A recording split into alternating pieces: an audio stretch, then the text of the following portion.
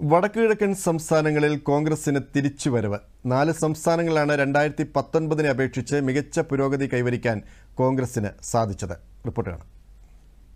Indian രാഷ്ട്രീയത്തിലെ ഗതിവിഗതികൾ നിയന്ത്രിക്കുന്ന സുപ്രധാന മേഖലയാണ് വടക്കുകിഴക്കൻ സംസ്ഥാനങ്ങൾ. ഇക്കുറി ഒൻപത് സീറ്റുകളാണ് അസമിൽ ബി ജെ പിക്ക് നേടാൻ സാധിച്ചത്. ഇതിനു പുറമെ സഖ്യകക്ഷികളായ അസം ഗണം പരിഷത്തും യുണൈറ്റഡ് പീപ്പിൾസ് പാർട്ടി ലിബറലും ഓരോ സീറ്റുകൾ വീതം നേടി. മൂന്ന് സീറ്റുകളിലാണ് കോൺഗ്രസ് വിജയം നേടിയത്.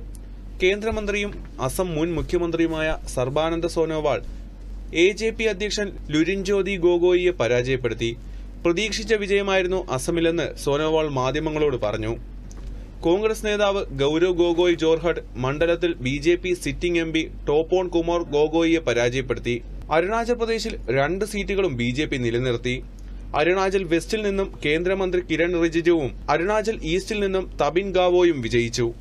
മണിപ്പൂരിൽ കോൺഗ്രസിന് മികച്ച നേട്ടം കൈവരിക്കാൻ സാധിച്ചു.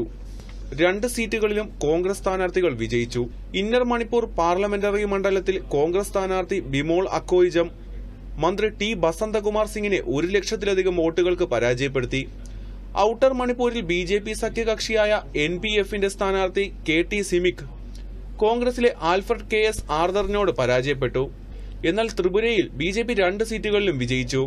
മുൻ മുഖ്യമന്ത്രി ബിപ്ലബ് കുമാർ ദേബ് ത്രിപുര വെസ്റ്റിൽ കോൺഗ്രസ് സംസ്ഥാന അധ്യക്ഷൻ ആശിഷ് കുമാർ സഹായ ആറ് ലക്ഷത്തിലധികം വോട്ടുകളുടെ ഭൂരിപക്ഷത്തിൽ പരാജയപ്പെടുത്തി. ത്രിപുര ഈസ്റ്റിൽ ബി ജെ പിയുടെ കൃതി ദേവി ദേബർമൻ വിജയിച്ചു. സി പി ഐ എം സ്ഥാനാർത്ഥിയെയാണ് കൃതി പരാജയപ്പെടുത്തിയത്.